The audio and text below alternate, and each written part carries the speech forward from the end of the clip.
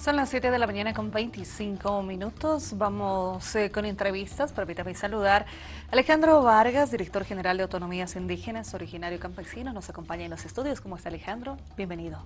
Asquiarucuipa, Culiaca Jimena. Gabriela. Gabriela, perdón. ¿Cómo está? Ah, Bienvenido. Vamos a comenzar, vamos a referirnos al tema de de las autonomías indígenas. Antes hemos elaborado un material que hace referencia a este proceso de transformación, porque dos eh, eh, municipios van a estar en conversión para poder consolidar también las autonomías indígenas para este 20 de septiembre junto al referéndum por los estatutos autonómicos. Vamos a conocer este material y luego vamos con la entrevista.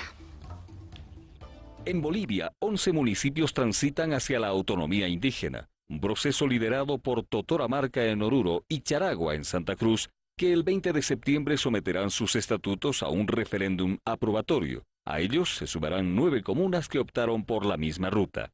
Así, Charazani y Jesús de Machaca en La Paz, Uruchipaya, Salinas de García Mendoza y Pampa Ullaga Soruro, Mojocoya, Huacaya y Tarabuco en Chuquisaca y Chayanta en el norte de Potosí tienen grandes avances en la redacción y aprobación de sus documentos constitutivos que posteriormente serán sometidos a sendas consultas.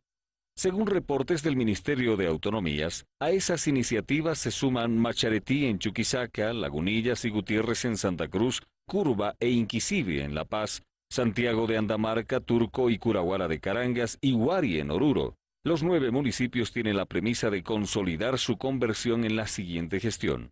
De ellos, el municipio cruceño de Gutiérrez cuenta con el proceso más avanzado debido a que su Consejo Municipal el pasado 2 de febrero aprobó el presupuesto para la realización del referéndum de acceso a la autonomía indígena. El artículo 289 de la Constitución Política del Estado define a la autonomía indígena como el ejercicio de la libre determinación de las naciones y los pueblos indígenas originarios campesinos cuya población comparte territorio, cultura, historia, lenguas y organización o instituciones jurídicas, políticas, sociales y económicas propias. No solo los municipios con estas características pueden optar por esta administración. Según la ley de autonomías, también los territorios indígena originario campesinos TIOC, denominados anteriormente como Tierras Comunitarias de Origen, TCO, este proceso autonómico, según las autoridades, tuvo muchas demoras que se atribuyeron, entre otros factores, a la falta de consensos al interior de las asambleas legislativas para la redacción de los estatutos autonómicos. Lo que queda en síntesis, después de cientos de años los pueblos indígenas van a poder fortalecer sus